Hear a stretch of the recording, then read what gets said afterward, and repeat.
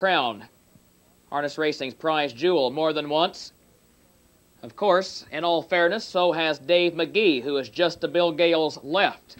Magee won it a few years ago with Annie Crombie at the Meadowlands. Here they come for the feature race on today's card, Fast Class Pacers.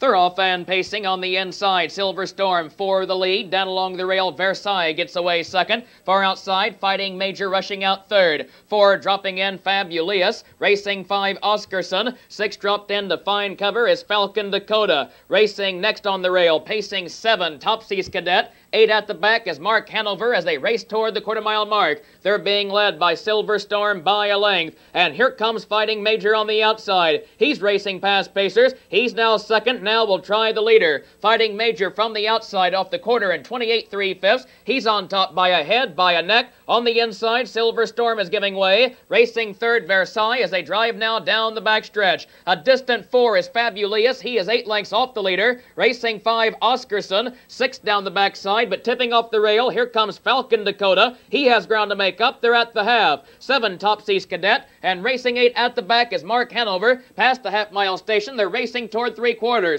That marker in 58 2 fifths. Field being led by just a length by Fighting Major. Racing next is Silver Storm, and pacing third, Versailles has been there all the way, and on the outside four, here comes Oscarson. He begins to pick up the leaders. He's now third and closing ground on the outside, and Falcon Dakota is right behind him. He's now five, and he's also moving up as they race toward the top of the lane. Fighting Major has the lead. He's on top by a length and a half as they straighten toward the wire. On the inside, still there but second is Silver Storm. Oscarson third from the outside. Three quarters, 129. We should see a big last panel, and Fighting Major is on top. They're four deep behind him.